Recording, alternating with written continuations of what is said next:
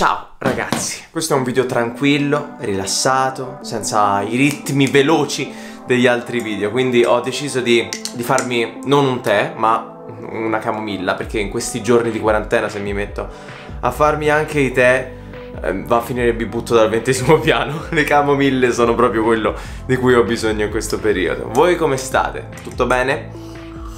Faccio questo video perché vi ho chiesto su Instagram sul mio profilo nelle storie di farmi qualche domanda e quindi volevo interagire un po' con voi e rispondere a un po' di domande. Sembra un vecchio tea time, vero? I tea time come format si sono evoluti e cam sono cambiati radicalmente nel corso del tempo. Eh, sembra appunto uno dei miei primissimi tea time. Comunque, andiamo a leggerli. Allora, la prima domanda è, quando hai capito che il disegno era la tua strada? Ti ammiro molto, ciao. Allora, mm, diciamo che a me mm, è sempre interessato il disegno, sarà perché mio fratello, mio fratello comprava i manga e, e, e, lui mi diceva proprio non devi assolutamente toccarli altrimenti ti brucio, ti, ti, ti distruggo, non, non, ci sarai più a questo mondo. E quindi io ero ancora più invogliato a prenderli e a sgraffignare qualche manga fino al giorno in cui ci sono riuscito. E, e sono rimasto affascinato da tutti, questi, eh, da tutti questi disegni con questi occhioni giganti, con i capelli colorati. E allora mi sono messo a ricopiare qualche disegno. Lì insomma è nata la mia passione per il disegno ma nello specifico, mh, mm, per rispondere alla tua domanda, quando è che ho capito che il disegno era la mia strada, credo che in questa nel, mm, credo che in questo caso YouTube abbia avuto un ruolo molto molto importante, perché YouTube mi ha fatto capire che attraverso il disegno potevo comunicare, comunicare con, con, tantissime persone attraverso il web, anche soltanto stando a casa. Iniziando a fare tutorial ho eh, conosciuto tantissime persone, mi, mi, piaceva leggere i commenti delle persone che dicevano grazie, grazie per, per l'aiuto, puoi fare il tutorial su quest'altro e si iscrivevano, si è, creata, si è creato un sentimento di community che poi ha portato a, a sviluppare ulteriormente questa passione. Ho trovato nel nella comunicazione attraverso i disegni la mia motivazione e quindi sì, sicuramente nel momento in cui ho, ho aperto il mio canale YouTube ho capito insomma che volevo continuare a disegnare. Poi, prossima domanda. Ciao, hai mai pensato di prendere un animale? Un animale.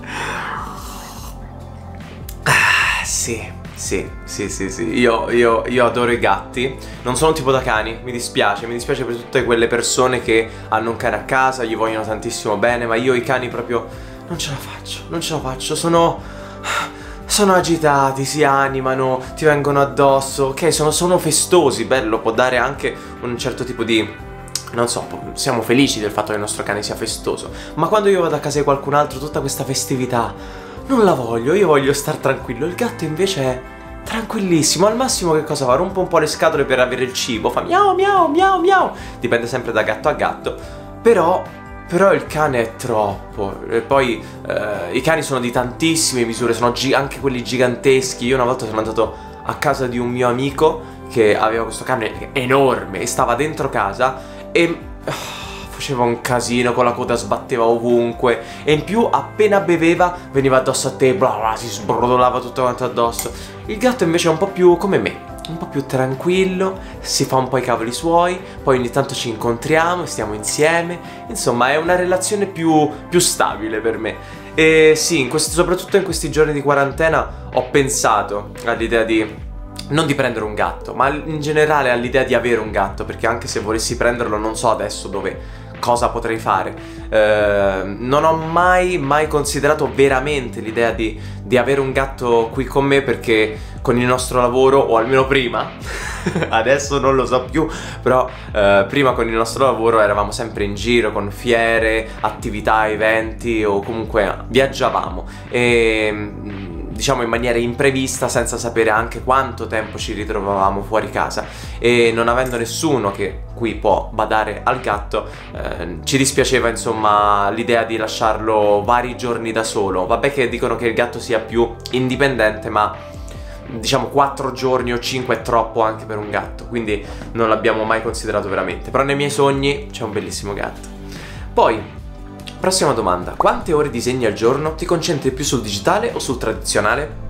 Allora, disegno non quanto vorrei, nel senso in questi giorni soprattutto uh, in questi giorni in cui c'è tantissimo da, da insomma, c'è tantissimo tempo a disposizione, uh, vorrei disegnare molto di più, solo che una cosa da tenere in considerazione è che comunque il mio lavoro non è soltanto disegnare. Mm, disegnare è uno degli step per creare poi un contenuto sul web, ma poi in generale abbiamo tantissime altre attività collegate quindi al, sia al nostro canale che alle nostre figure offline um, che, che vanno gestite. Quindi molto tempo se ne va a rispondere alle mail, molto tempo se ne va magari eh, nell'ultimare i montaggi, nell'esportare i video, eh, nel gestire i collaboratori quindi mm, non, non, posso soltanto pensare di disegnare, disegnare, disegnare, disegnare, anche se in questo, in questo periodo, in questo periodo, visto che c'è tanto tempo, sto disegnando di più. Uh, sarà una specie di riflesso, non so, per cercare appunto di riempire il tempo, uh, però sto, sto disegnando di più, anche se ci sono delle volte in cui proprio io, ragazzi, mi sveglio e non ho voglia di fare niente. Ieri, per esempio, volevo registrare questo video ieri, ma mi sono svegliato proprio che era una di quelle... Avete presente le giornate no? Che tu ti svegli e dici già, già, già questa giornata mi sta sulle scatole.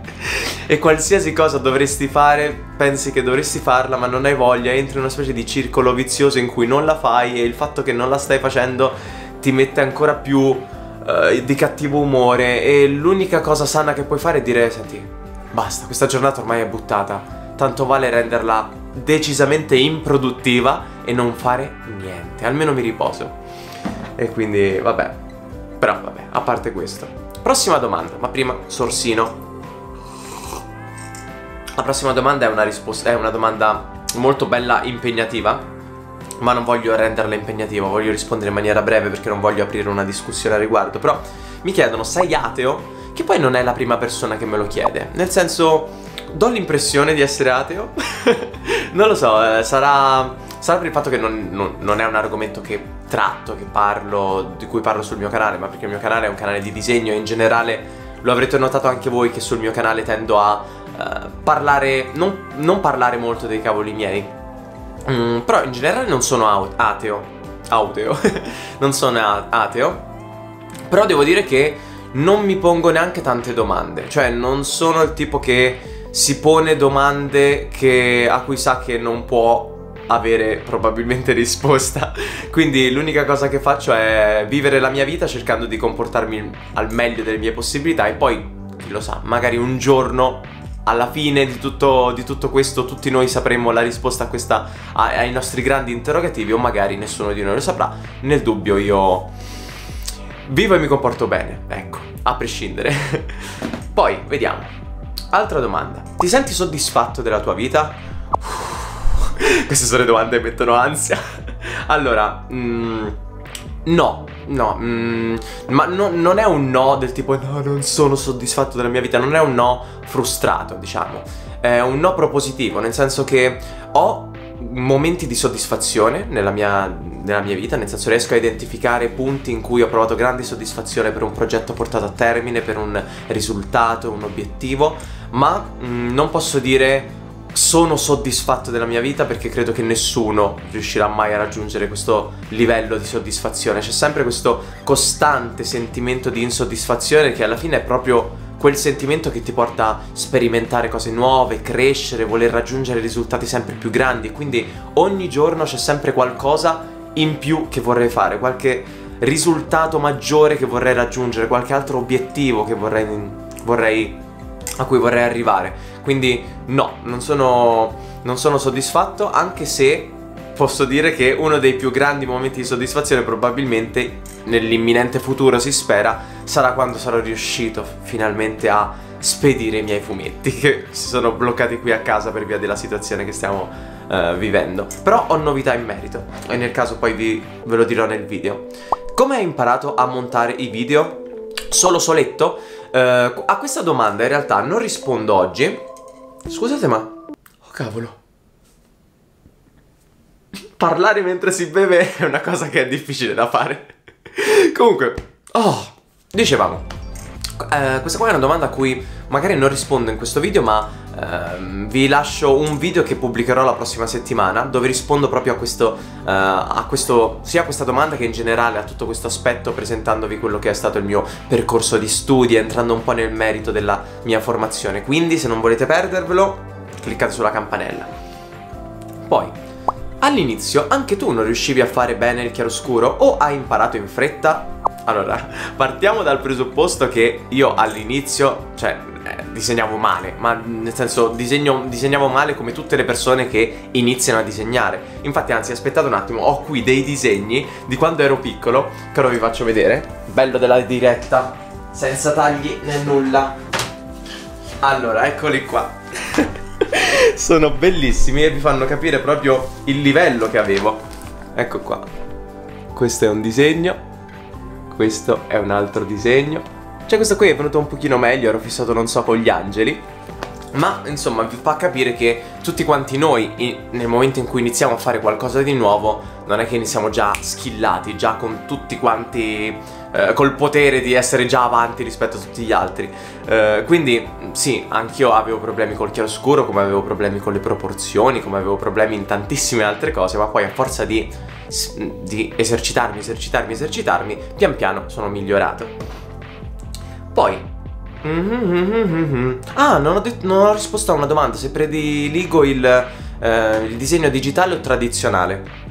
Allora, lo vedrete anche dai video che faccio, basta vedere nei miei video disegno più spesso in digitale o in tradizionale. Ehm, il digitale per me è molto molto molto comodo, ma perché è più veloce, posso correggere gli errori, posso ottenere risultati più velocemente.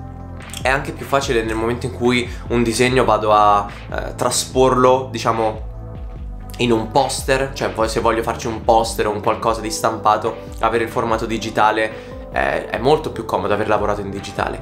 Però comunque il tradizionale, il tradizionale ha sempre il suo fascino ed è il motivo per cui comunque anche se disegno spesso con per esempio l'iPad o la tavoletta grafica sul mio canale, eh, comunque ci tengo a fare format come scroller box in cui apro eh, pacchetti a caso di materiale tradizionale, cerco di disegnare in tradizionale. Quindi tra le mie tecniche preferite del tradizionale c'è l'acrilico, però l'acrilico insieme a, ad altre, come dire, altre, mm, che ne so, chine, acquerelli e dettagli acrilici, questa qua è la mia combo. Poi, vediamo. Scusate un momento. Parlare... Parlare mentre, mentre si, si, si, si sta cercando anche di bere, eccetera, è un casino. Ti raseresti mai i capelli per poi donarli in beneficenza? Si donano in beneficenza i capelli? A chi? Alle persone pelate? Mm, allora, nel senso, in generale, a prescindere dalla beneficenza, la domanda poteva fermarsi a Ti raserai mai i capelli? No. Per beneficenza? No. Sono sicuro che ci sono tantissime altre persone che doneranno tranquillamente i propri capelli al posto mio.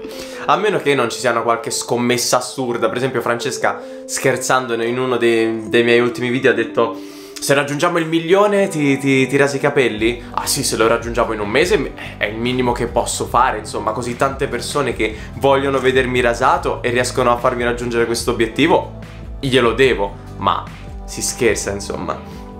Poi, come stai in questi giorni? Mangia sano mi raccomando Allora, sul mangiare sano nessun problema Ragazzi, mi sto sfondando di pancake Questa è proprio alla base della dieta sana mediterranea. Eh, Infatti, mh, no, ma a prescindere da questo comunque stiamo mangiando. Abbiamo fatto la spesa quella grossa Tipo pasta e carne, verdura, cose così. Ci ha salvato la vita il fruttivendolo perché fare la spesa in questi giorni è abbastanza complesso perché c'è una fila sempre lunghissima, in più tutta quella tiritera, eh, precauzioni per entrare, guanti, eccetera, calca di gente, eh, quindi mh, mm, è complesso andare a fare la spesa. Però il fruttivendolo è un po' più tranquillo, puoi andare lì, prendere le tue carotine, zucchine, cipolline, eccetera, e magari costa anche un pochino meno.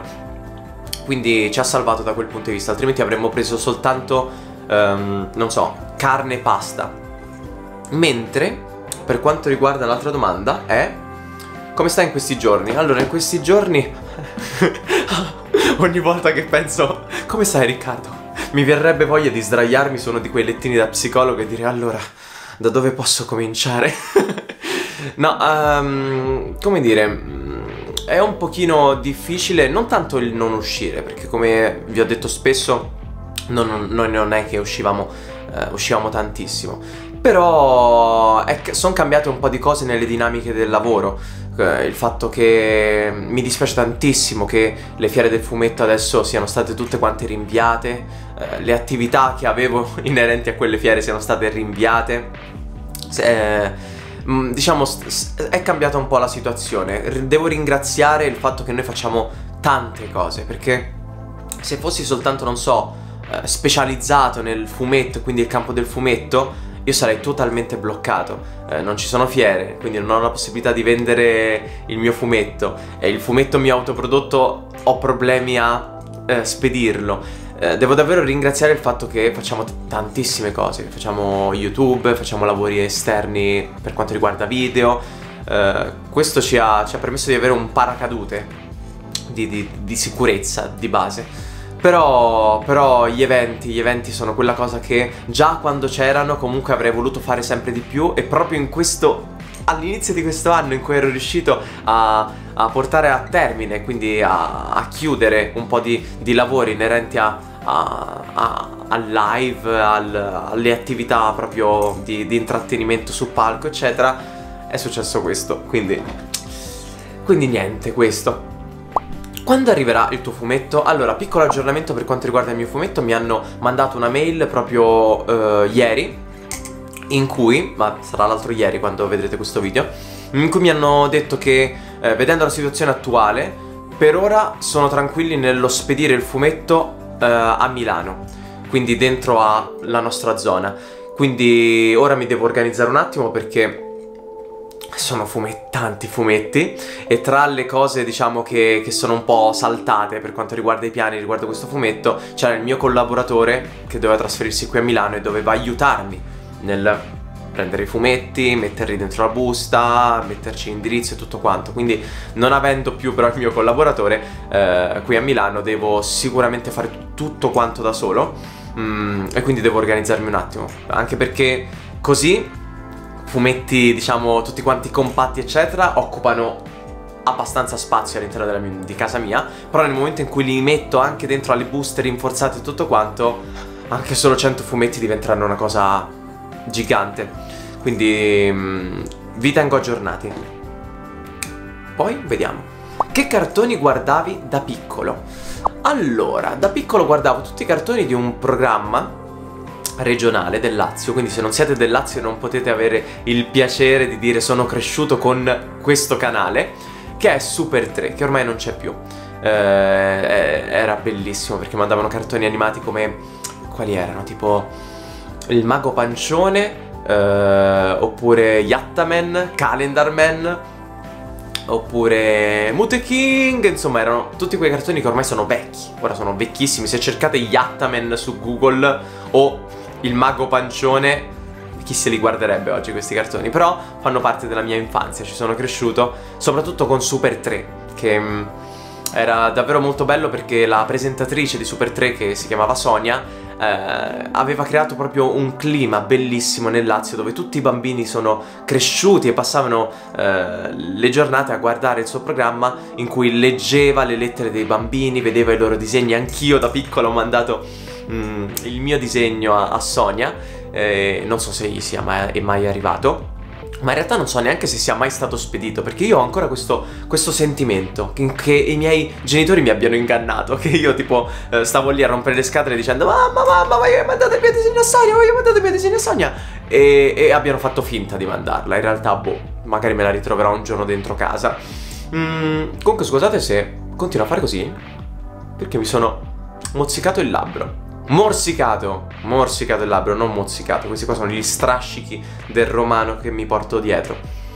Perché non crei un concorso a premi per i tuoi fan?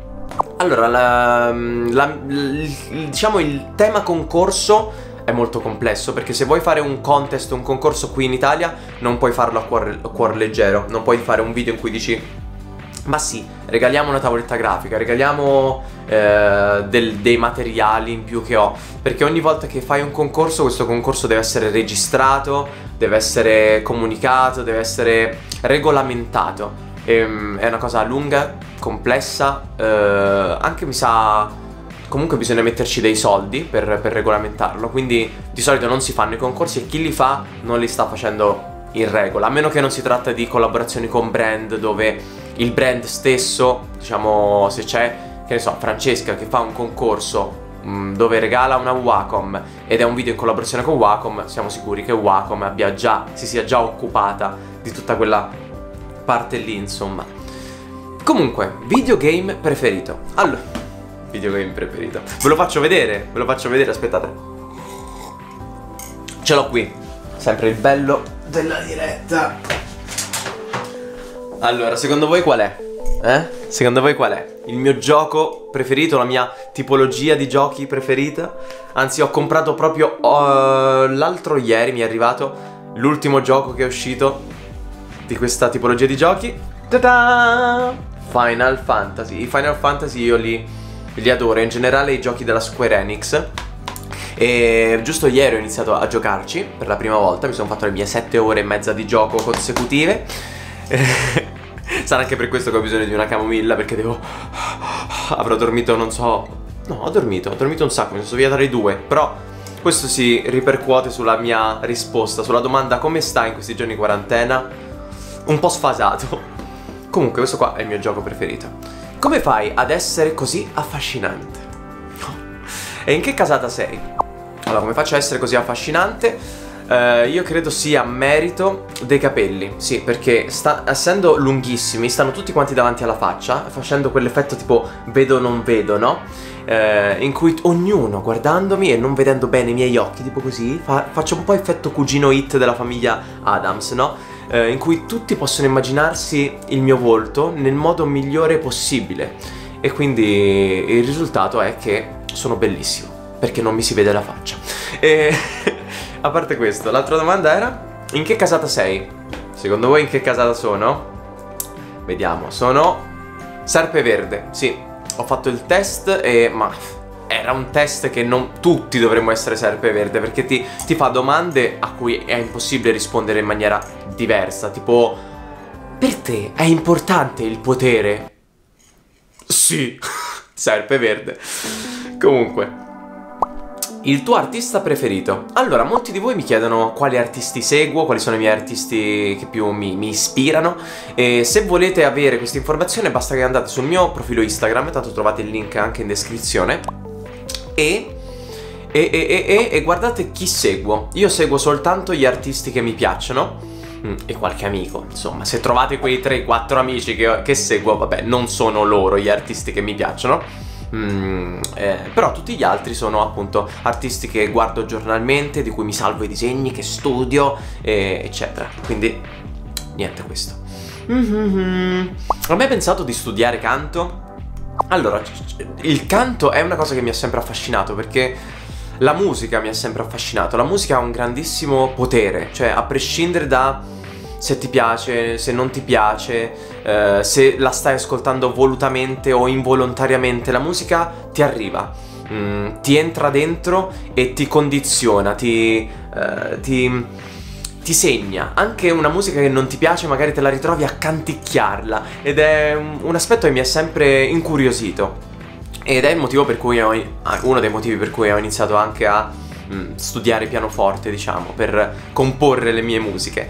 Eh, però anche il canto come dire, so, mm, analizzando quella che è la mia voce, comunque, e, e, il fatto che comunque ci tengo ad avere una dizione corretta, ehm, sento che dal punto di vista argomento canto potrei magari studiare e ottenere qualche risultato, però il motivo per cui mm, non lo sto facendo è che altrimenti sono troppe cose. Già c'è il disegno, mm, mm, poi c'è eh, l'animazione 2D, il montaggio video mm, con After Effects e tutto quanto, poi c'è il pianoforte. Sto cercando di imparare forse troppe cose, meglio, eh, ok, imparare tutte quelle cose che ti permettono di aggiungere valore a quello che stai facendo, piuttosto che dire ok, ora mi metto a cantare Sul mio canale ogni tanto il Riccio canta. Non so se, se, se, se l'avete visto. Se non l'avete visto, non vi preoccupate. Non, non andate a vedervelo. Non... Il Riccio che canta è carino, ma... No. Comunque, altra domanda. Le ultime tre domande. Quando hai iniziato uh, la tua carriera da youtuber, lo hai subito detto ai tuoi genitori? Ti adoro. Grazie. Uh, allora, devo ammettere che io, io sono una persona che dimentica facilmente. Mm, la mia infanzia è un po' annebbiata, diciamo. Eh, è una cosa che mi preoccupa perché eh, quest, questa specie di nebbia che non ti fa ricordare bene gli avvenimenti del passato, eh, come dire, ti, ti dà la sensazione che tu abbia vissuto poche, pochi momenti rilevanti nel tuo passato e di conseguenza abbia vissuto poco. Man mano che va avanti il tempo sembra che quello che è stato il passato sia sempre più corto. Eh, è una cosa un po' strana. Però devo dire che in effetti io mi sa che mi sono creato un canale su YouTube senza dire niente ai miei genitori.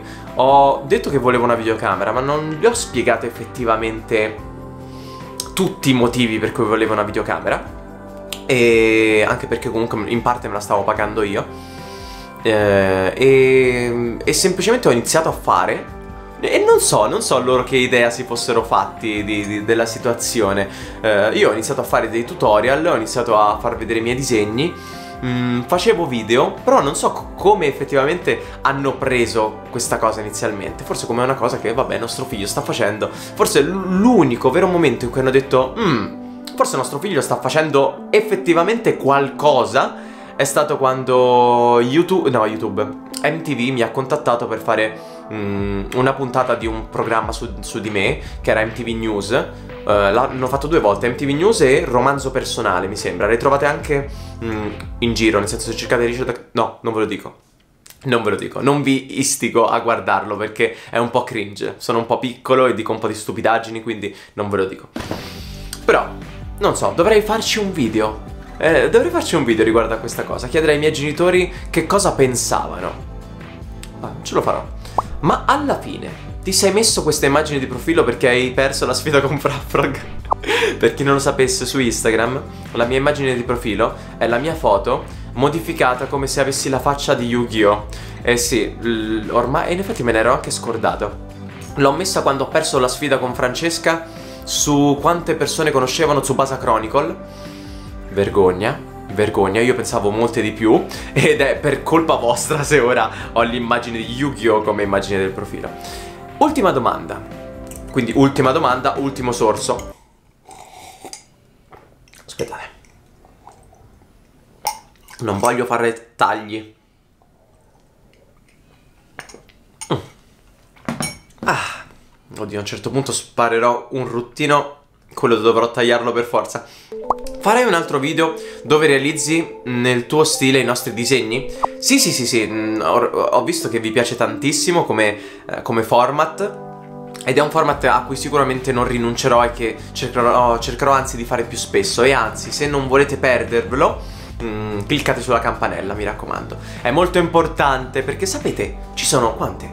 650.000 persone iscritte al mio canale e soltanto 200.000 hanno la campanella attiva e, e soltanto 120.000 hanno quella che, che ti mostra tutte le notifiche. E questo qua è un peccato perché... Perché, perché, perché rischiate di perdervi dei video e poi ci sono io che dico perché questo video è così, ci ho messo così tanto tempo e impegno per farlo e poi se lo sono visto 50.000 persone, dove sono le altre 600.000? Beh, non c'è, le altre 600.000 magari non hanno molti di loro cliccato sulla campanella. E vabbè. Comunque, che dire, grazie. E se avete altre domande non scrivetele qui sotto. No, non scrivetele qui sotto, aspettate che esca un'altra storia su Instagram, quindi seguitemi su Instagram, ma ci vediamo tanto oggi, perché oggi c'è la live su Twitch alle 5, come ogni venerdì, quindi segnatevi, seguiteci su Twitch, dove guarderemo i vostri disegni, quindi preparate i vostri disegni che poi verranno pubblicati su Instagram, taggatemi nel caso, perché andremo a vederli insieme io e Francesca, va bene? Se avete qualsiasi cosa da dire, qualsiasi considerazione, scrivetela qui sotto nei commenti e ci vediamo con un prossimo video, va bene?